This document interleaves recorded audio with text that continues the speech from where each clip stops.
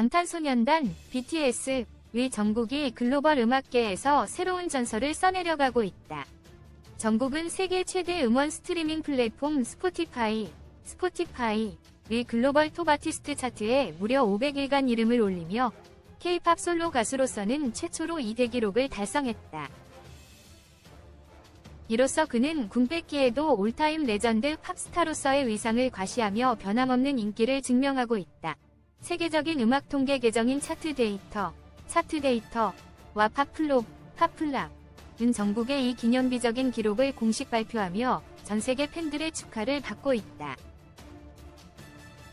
그간 글로벌 톱 아티스트 일간 차트에서 K-팝 솔로 가수로서 최고 순위인 4위를 기록한 정국은 스포티파이의 여러 기록을 독보적으로 새롭게 써 내려가고 있다.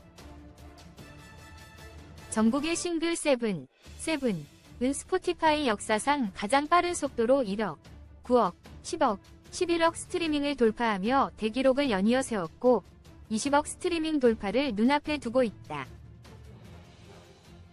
더불어 2023년 스포티파이 연말 결산 차트 Top Track of 2023에서도 단 4개월 만에 4위를 기록하며 전 세계 팬들의 사랑을 한몸에 받고 있다. 전국의 세븐은 스포티파이 일간 글로벌 차트에서 1위로 첫 데뷔했으며 아시아 아티스트 곡으로는 최초이자 최장 기간인 71일 동안 1위의 자리를 지키는 기록을 세웠다.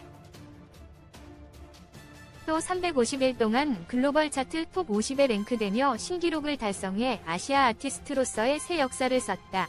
정국은 자신의 솔로곡 7, 3D, Standing Next to You, Standing Next to You, 로 스포티파이 일간 글로벌 차트 1위를 연이어 석권하며 솔로 아티스트로서의 막강한 존재감을 확인시켰다.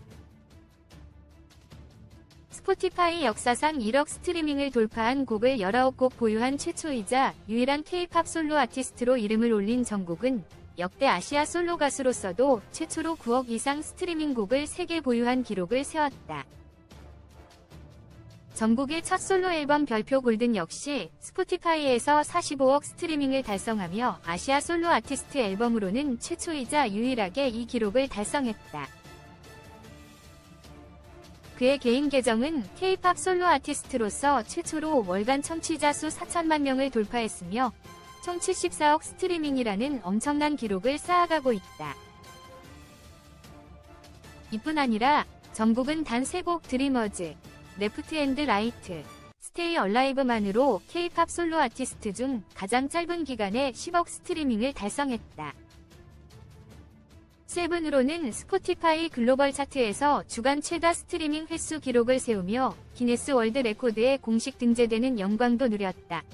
정국의 신기록 행진은 지금도 계속되고 있으며 세계를 무대로 펼쳐지는 그의 독보적인 행보는 K-팝을 넘어 글로벌 팝 스타로서의 가치를 다시 한번 입증하고 있다.